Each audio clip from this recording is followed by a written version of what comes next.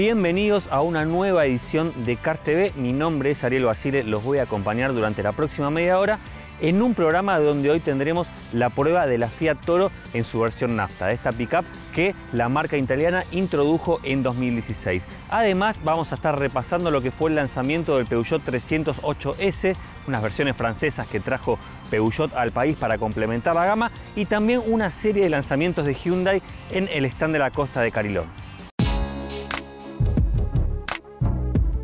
Cuando Fiat introdujo esta pickup en 2016 fue una suerte de revolución en el segmento porque pasó a competir en un segmento intermedio que no existía y que también estaba la Duster Oroch de Renault en el medio como para empezar a crear una categoría intermedia, como decíamos. Por un lado las pickup medianas tradicionales, donde están Hilux, Chevrolet S10, Ford Ranger y por otro lado las pickup chicas, donde están Sabeiro de Volkswagen también o la Fiat Strada. Esto pasó a ocupar un lugar intermedio, con lo cual creó de alguna suerte un segmento nuevo en el mercado local.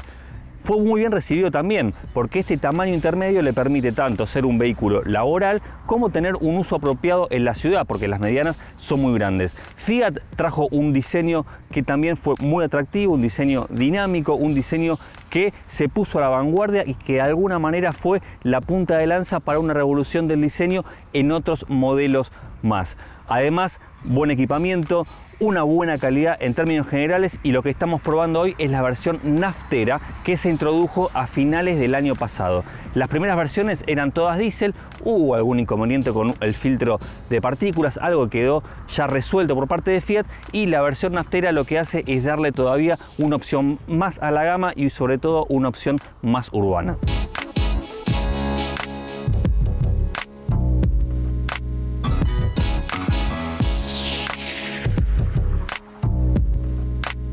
Decíamos que uno de los puntos altos de este modelo desde que se lanzó tiene que ver con el diseño, con una estética muy original, una estética rupturista para lo que era el mundo Fiat, muy moderno, que venía de una serie de concept y que se terminó consagrando con esta pica mediana. Vemos el frontal prominente, la línea lumínica que es bien chata, la cintura que va ascendiendo y que termina en un portón que es como los furgones, no como el resto de las pickup, que se abre con la doble puerta. Es un sistema innovador para todo lo que tiene que ver con la carga, que además tiene una lona y un cobertor plástico para la zona de carga. Hay que decir, no es una pickup de una tonelada como son las medianas, en esta la carga es de 650 kilos y el espacio de carga es de un metro y medio. Con lo cual estamos hablando de una buena dimensión, un poco más chicas que las tradicionales, pero que de todas maneras tiene un buen espacio de carga y que la ciudad se luce, como decíamos, por su silueta bien moderna.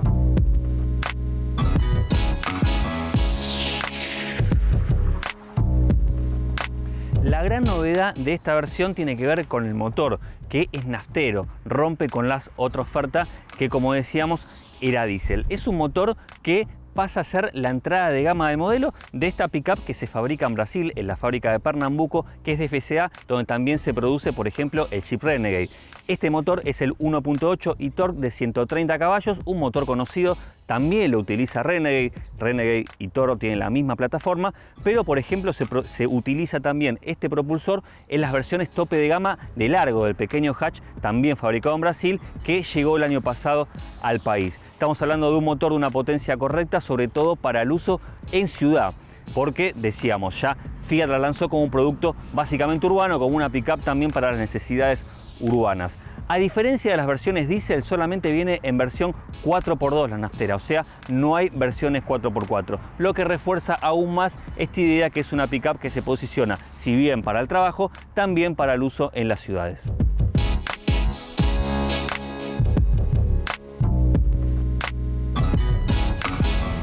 Una de las ventajas que tiene este modelo es que tiene una buena calidad en términos generales y que es muy confortable para cualquier tipo de uso. Esto es lo que decíamos antes de que también apunta al público más urbano. Esto se ve en las butacas que son de cuero, que son muy cómodas, bien mullidas, en el agarre del volante que también está revestido en cuero y que además es multifunción. La posición de manejo se encuentra muy rápidamente porque tenemos ajustes manuales tanto para el volante en profundidad y en altura como para las butacas, con lo cual es fácil encontrar la posición de manejo y como decíamos las butacas son realmente muy cómodas. La calidad también es muy buena, algo que ya habíamos visto en el Renegade, pensemos que comparte plataforma con ese modelo de Jeep, se producen en la misma planta brasileña, con lo cual estamos hablando de un producto que está por encima de la media en términos de calidad. Encima de la, de la media me refiero a productos Mercosur. Es un producto que está bien equipado, aparte en términos de confort. Tenemos acá el climatizador, que como vemos es de dos zonas. Tenemos una pantalla táctil que tiene navegador integrado. Hay que decir que es una pantalla muy chiquita, es de 5 pulgadas, la definición no es de la mejor, pero tenemos tanto cámara de retroceso para las maniobras traseras con sensores, como también tenemos navegador integrado, además de la posibilidad de reflejar aplicaciones del celular directamente en la pantalla. El tablero es convencional, con dos relojes con agujas analógicos, con información bien clara y con un gran display en el centro con una computadora a bordo muy completa que tiene varios elementos como la temperatura del aceite, la presión de los neumáticos, se puede ir configurando, en este momento estamos viendo la velocidad, con lo cual estamos hablando de una buena información que nos da esta computadora a bordo y que además es bien visible. A mí me gustan los relojes analógicos, son redondos con aparte de un cromado en los aros, el volante decíamos tiene buen agarre, tiene control de velocidad crucero también este modelo, tiene sensores de lluvia, sensores crepusculares. Estamos hablando de un auto bien dotado para el confort porque, insistimos, este modelo, si bien es una pickup y se puede usar para el trabajo, también es de uso familiar.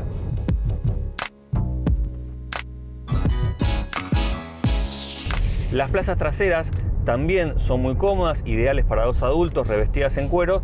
Y la plaza central, o sea, la tercera plaza, es acotada en cuanto a espacio, es para un niño, no para un adulto, pero hay que decir que tiene tanto cinturón de tres puntos como cabeza, elementos de seguridad que son importantes en un vehículo que tiene buen equipamiento en seguridad, porque tiene control de estabilidad, tiene asistencia de arranque en pendientes, tiene control de tracción, los anclajes ISOFIX para sillas infantiles en la parte trasera, y 7 airbags, con lo cual está muy bien dotado en términos de seguridad la Fiat Toro.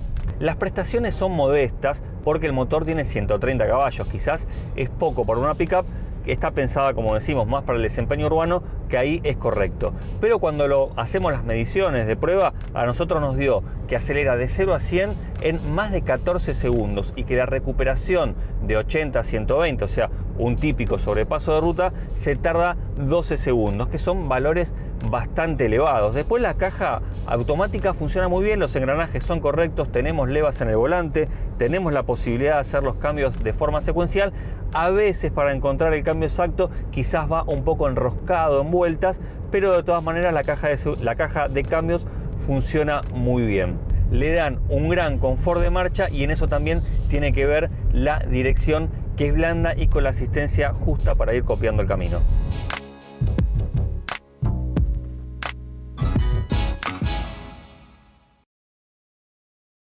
Ahora sí llegó el momento de irnos al primer corte del programa del día de hoy.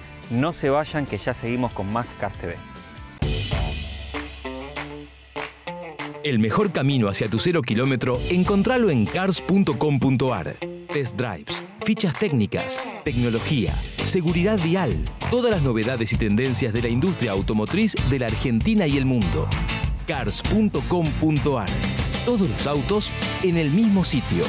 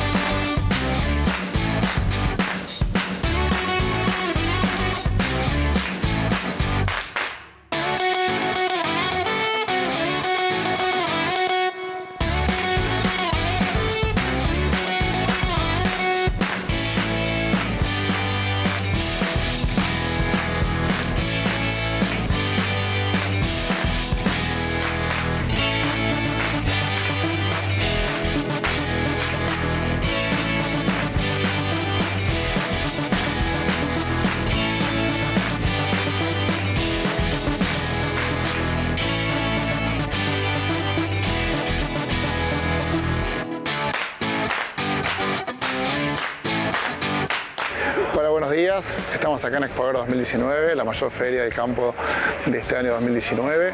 Básicamente estamos presentando seis nuevos modelos, una nueva generación de camiones. De los, últimos lanzamientos del 2018, con unas ofertas de financiación muy atractivas y una especial oferta en términos de postventa. Mano de obra bonificada para todos los clientes que realicen operaciones en Expo 2019, le vamos a bonificar la mano de obra del segundo año o 200.000 kilómetros. Eh, nuestros consumidores van a estar atentos para satisfacer las necesidades, consultas y esperemos cerrar muchas operaciones. Los esperamos.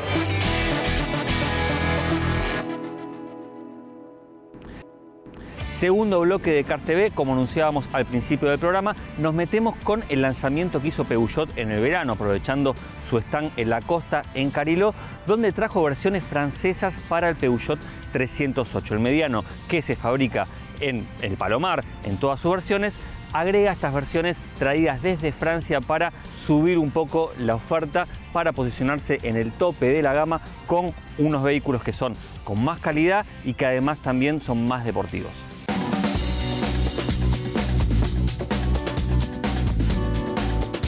Peugeot introdujo en el mercado local las nuevas versiones S del 308 que llegan importadas desde Francia para ubicarse en lo alto de la gama del mediano. Las S Allure Plus y SGT más deportiva complementan la oferta local del modelo que en el resto de las variantes se fabrica en la Argentina. Los 308 franceses se producen bajo la plataforma más moderna del grupo PCA y se destaca la evolución del puesto de manejo Peugeot y Cockpit las asistencias a la conducción HADAS, la nueva caja de cambios automática de 8 velocidades y un nuevo motor de 225 caballos de potencia, de la versión GT. El 308S reafirma los puntos fuertes del modelo con un estilo fluido y elegante. Tiene voladizos cortos y una estética dinámica introduce un nuevo capot con líneas afiladas, parrilla vertical con el león en el centro, mientras que las letras Peugeot están esculpidas en su banda superior. Sobresale la firma luminosa formada por dos LEDs integrados en los proyectores y un nuevo faro delantero full LED. Los dos nuevos paragolpes refuerzan el carácter del nuevo 308S. En la zona posterior, la firma luminosa de las tres garras está iluminada permanentemente. En el interior, el 308S incorpora una segunda generación del puesto de conducción con el nuevo Peugeot y cockpit. Su volante compacto, su cuadro de instrumentos elevado y su gran pantalla táctil son los ejes centrales. Todo ello en un ambiente en el que se destaca la calidad de los materiales y el acabado de los tapizados. El 308S GT incorpora el motor de 225 caballos asociado a caja de cambios automática de 8 marchas. La deportividad aparece en todo el habitáculo, un carácter que se refuerza con detalles estéticos como bajos ensanchados, pedales de aluminio y el doble difusor trasero. En el interior, techo y recubrimientos interiores, costuras de color rojo, aluminio en los pedales, acero inoxidable en los umbrales de las puertas o materiales como la combinación de TEP y alcántara. La versión Allure Plus equipa el THP Turbo de 165 caballos con caja automática de 6 marchas. Los nuevos Peugeot 308S cuentan con el paquete completo de tecnologías HADAS que dan asistencia al conductor para delegar funciones principalmente de seguridad directamente en el vehículo. Un avance hacia los vehículos sin conductor.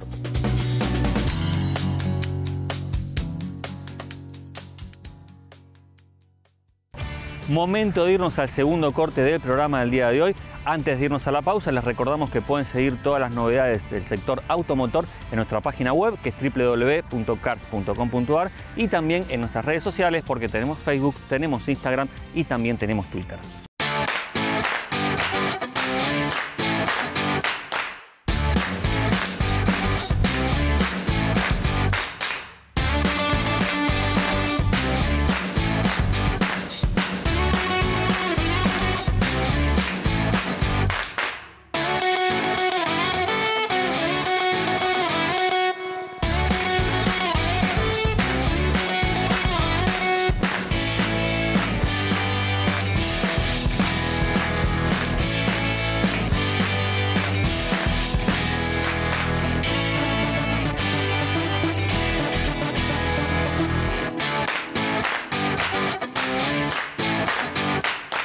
Un año más la marca Volkswagen se hace presente aquí en Expo Agro apoyando al campo, en este caso por supuesto mostrando toda la gama de nuestros eh, productos, empezando en lo que tiene que ver con la división Amarok, donde el cliente tiene la posibilidad de acceder y conocer todas las versiones de esta pickup exitosa lanzada en el año 2010. También estamos presentes con nuestra división camiones, mostrando todo el poderío de nuestra marca también en este segmento. Y por último, la marca Volkswagen también eh, tiene presencia con todos eh, sus vehículos lanzados recientemente y la gran novedad esperada este año para la industria automotriz como es el Volkswagen T-Cross, un vehículo del segmento SUV mediano que lanzaremos hacia mediados del año y no duramos que será un éxito más de nuestra marca en el mercado en el año 2019.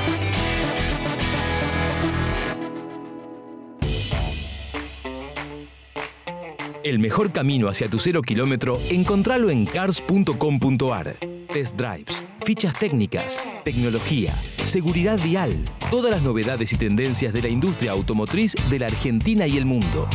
cars.com.ar. Todos los autos en el mismo sitio.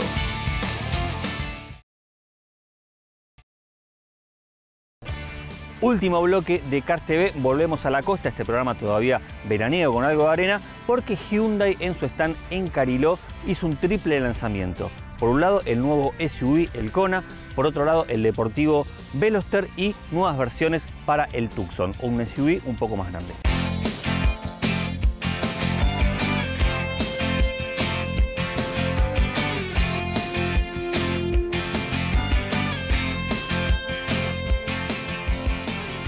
Hyundai realizó en el verano un triple lanzamiento en la costa en su stand de Cariló. El principal fue la Estrella Kona, un SUV del segmento B pero con prestaciones y equipamientos para competir con rivales premium. Además agregó versiones del Veloster y del SUV Tucson, un bestseller de la marca coreana. El Kona llega en dos versiones y se destaca por su nivel de seguridad y asistencias. Se trata nada menos que el primer vehículo de la marca en incorporar el paquete completo de HADAS. El motor es el 1.6 turbo de 177 caballos con caja de doble embrague de 7 velocidades y tracción 4x4 on demand. Entre las tecnologías incluye la alerta de colisión frontal, asistencia de prevención de colisión frontal, sistema de alerta de asistencia de mantenimiento de carril, sistema de anti-encandilamiento, alerta de atención del conductor, alerta de colisión de punto ciego o alerta de colisión de tráfico trasero. También cuenta con un completo nivel de equipamiento en confort y conectividad con sistemas Android y Apple. Hyundai también inició la comercialización de la versión Ultimate y completó la gama de la familia Veloster. Esta versión se ubica en el tope de la gama y complementa las versiones 2.0 y 1.6. Mezcla el motor más potente con el equipamiento de la variante orientada al confort. El 1.6 turbo es el propulsor de inyección directa de 204 caballos y se con caja automática de 7 marchas y doble embrague. El nuevo Veloster mantiene como distintivo principal su asimetría, con una puerta del lado del conductor y dos del lado del acompañante. Presenta un completo rediseño exterior e interior, se destacan las mejoras en el tren motriz, un conjunto de nuevas funciones de entretenimiento y conectividad y la incorporación de suspensiones traseras multilink en todas las versiones. Con el motor 1.6 tiene una aceleración de 0 a 100 en 7,1 segundos y una velocidad máxima de 225 km por hora. Por último, Tucson, el renovado modelo emblema de Hyundai en Argentina, lanzado en septiembre del año pasado, ahora completó su gama con las versiones Turbo 1.6 y 2.0 diésel.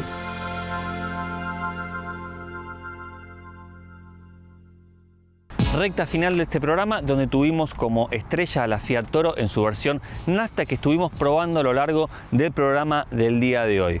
788 mil pesos vale esta versión que dijimos es la de entrada, digamos, sea, es la versión inicial del modelo que es 4x2, hay otras variantes 4x4 y es muy difícil encontrar rivales muy directos porque dijimos se posiciona entre las picas medianas y las pickup chicas.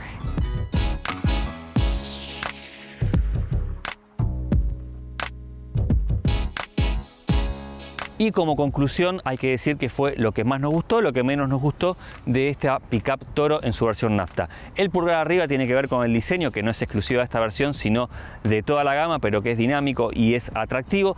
También con el confort de marcha, que como vimos es muy bueno, la versatilidad del uso, tanto para el trabajo como para la ciudad y con la calidad en general que está por encima de la media de los productos Mercosur. Lo que menos nos gustó, hay que hablar de la pantalla que es muy chiquita y una resolución baja con las prestaciones que son un poco modestas. Y así llegamos al final de este programa de Car TV. Nos reencontramos el próximo domingo 10 y media de la mañana acá por el canal de la ciudad.